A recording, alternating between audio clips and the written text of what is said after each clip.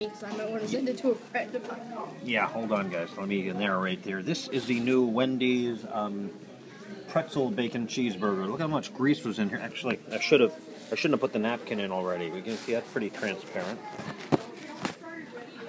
You see that, guys? Yeah. Hey, you guys, don't get in the frame. Your brother doesn't want you in.